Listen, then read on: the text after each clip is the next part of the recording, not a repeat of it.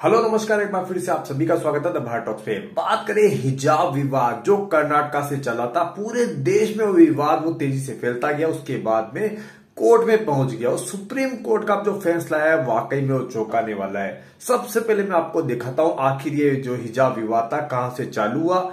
अब supreme court क्या बोल रहा है और अब आगे क्या होने वाला है? चलिए स्टार्ट करते हैं। वीडियो वीडियो पूरा देख लेना भाई लाइक कर देना, ज़्यादा शेयर कर देना, सभी तक पहुँचा देना। क्योंकि हमारे यूट्यूब की कृपा से यहाँ पे जो वीडियो की रीच है वो बहुत कम कर दी गई है, इसलिए आप सभी को मैं मतलब रिक्वेस्ट करना चाहूँगा कि आप ज़्यादा ज़्यादा शेयर करें वीडियो को, ताकि वीडियो और भाई बहनों तक पहुँचे।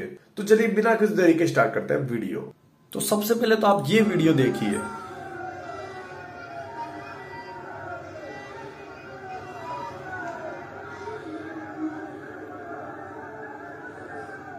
ये देखिए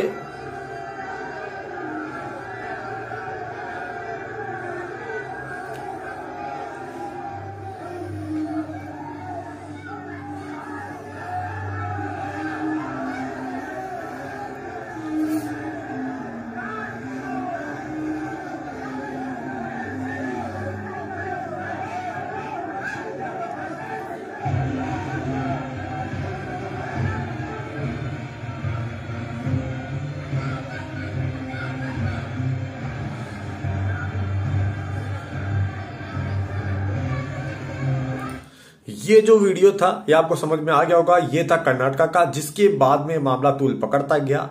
एक तरफ़ जहाँ पे हिजाब आने के लिए जिद कर रही थी लड़की, उसी दूसरी तरफ़ यहाँ पे भगवा गमछे गले में डालकर भगवा पहनकर यहाँ पे जो वहाँ के छात्र छात्राएँ वो आने लग गए। और ये जो विवाद था, तेज़ी से बढ़ता गया। इसी पे यहाँ देखिए, अब यहाँ पे सुप्रीम कोर्ट का जवाब आया, हिजाब पर सुप्रीम कोर्ट बट्टी एक ने कहा इस्लाम में अनिवार्य नहीं। दूसरे ने बताया चॉइस का मामला। अब सीजीआई लेंगे फैसला। अब आप सोचिए बहुत चौंकाने वाला फैसला है कि सुप्रीम कोर्ट भी अब दो हिस्से में बढ़ गई है। जस्टिस यहाँ सुधांशु दुलिया ने कहा है कि कई क्षेत्रों में लड़कियाँ स्कूल जाने के अलावा अपने घर के का, कामकाज भी करती है। ऐसे में क्या हिजाब पर प्रतिबंध लगाकर हम उनके जीवन को बेहतर बना रहे हैं। ये देखिए ये है सुप्रीम कोर्ट का डिसीज़न। सभी इंतज़ार कर रहे थे, क्योंकि पूरे देश में हिजाब का मामला है, वो तेज़ी से तूल पकड़ता हुआ दिख रहा है।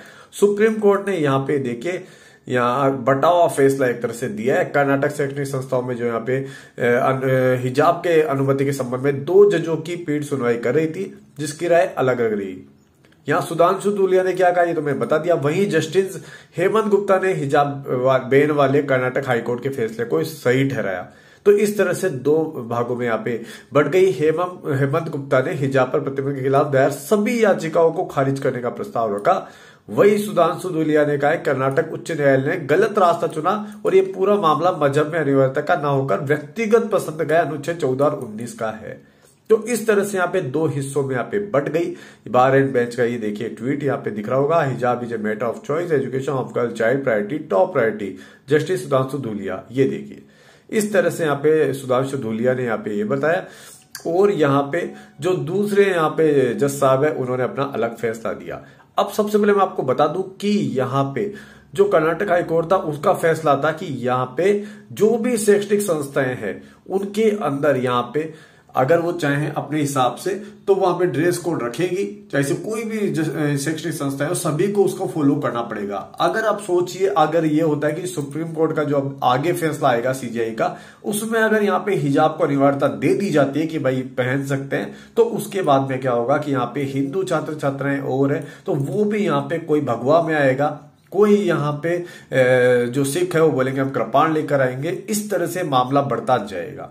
तो ऐसे के अंदर यहाँ पे सभी सोच रहे थे कि यहाँ पे सुप्रीम कोर्ट का सीधा फैसला आएगा कि यहाँ पे जो स्कूल है, कॉलेज है, जिनमें भी यहाँ पे, ध्यान दीजिएगा, जिनके अंदर भी यहाँ पे यूनिफॉर्म अलाउ है। यूनिफॉर्म का एक ड्रेस कोड यहाँ पे फिक्स है। एक ड्रेस कोड यहाँ पे फिक्स कर रखा है। उनको, उसको फॉलो करना पड़ेगा। उसमें हिजाब हो, चाहे भगवा हो, किसी को भी अलाउ अलग से नहीं करेंगे।